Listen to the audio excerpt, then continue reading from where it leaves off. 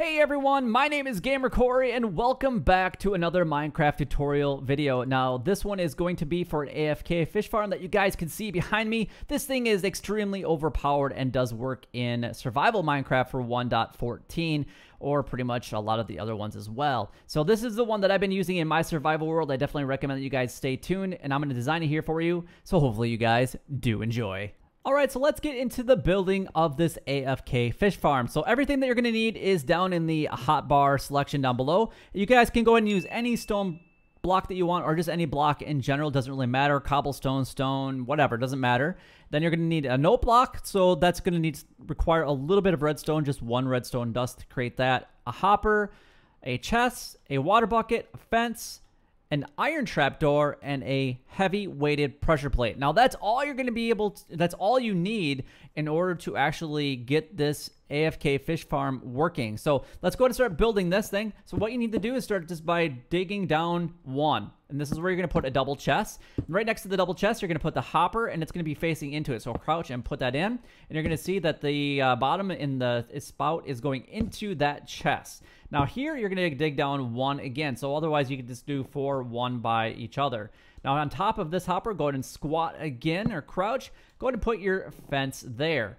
Now, where your fence is at, you're going to go ahead and put your water bucket. The water will actually flow down into the other side that you created here. And that's why it won't go pretty much everywhere. This is all thank goodness to um, having the entities being able to be flooded out there a little bit. At the end of this, you're going to put your note block. On top of it is where you're going to put whatever block that you want. So go ahead and crouch and put that there. Now, you're pretty much done with this thing. You just have a couple of other little things to do here. You're going to put a trapdoor right there on that block. That's right there. And then what you're going to do here is you're going to go ahead and put this weighted pressure plate right there. Now, on top of that, all we need is our fishing rod.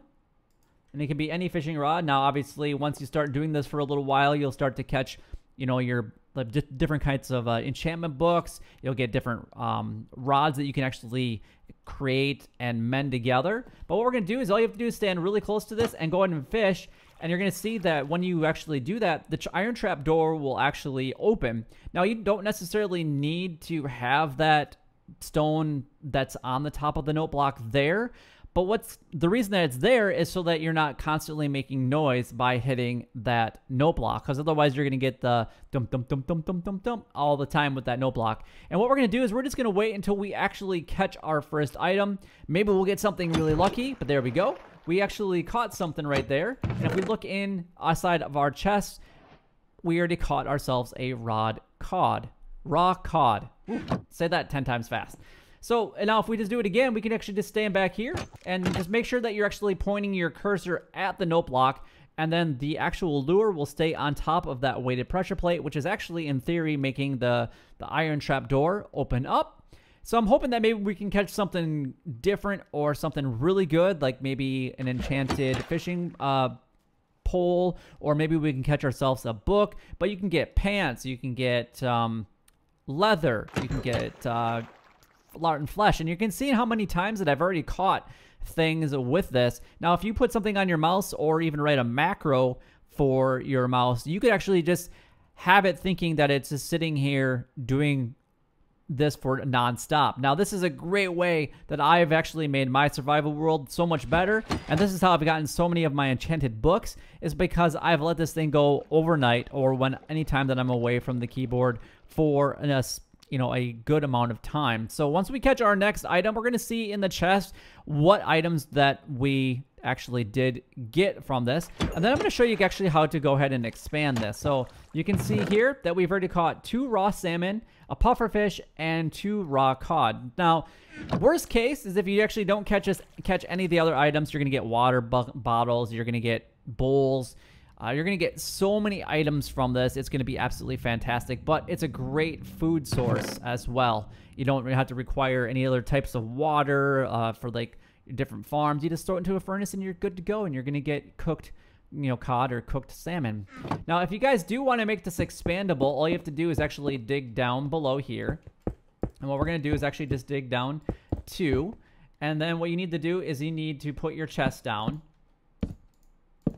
like so. And then what you're going to do is you're going to face each of these iron hoppers into the chest like so.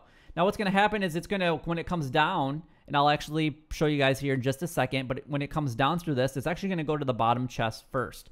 So if we stand on top of this, now if you guys are doing this actually in a survival world, what I definitely recommend that you do is just craft up a couple trap, regular trap doors, and then just go ahead and put those on top of here like so. And then you can stand on top of this and then you can make your ladder down and then just go ahead and drop down here, get what you need, and then come back up top. That's pretty much what I have in my world as well. All right, so let's go ahead and actually grab our fishing rod. Um, from our area here. So let's go ahead and do this. And let's go ahead and just throw it on there.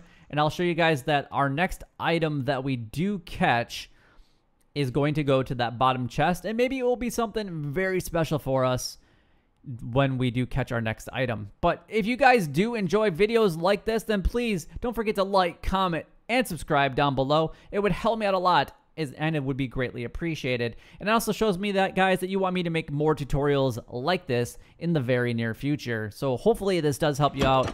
And there we go. We caught our next item. So let's just go ahead and drop down here and see what we caught. We got ourselves five ink sacs. So we did catch something a little bit different, which is fantastic. Again, I hope that this helps you guys out, and if it does, again, like, comment, and subscribe down below. It'll help me out a lot, and it's greatly appreciated. But until next time, YouTube, you guys keep doing what you're doing because you're already doing it, and you guys stay gaming.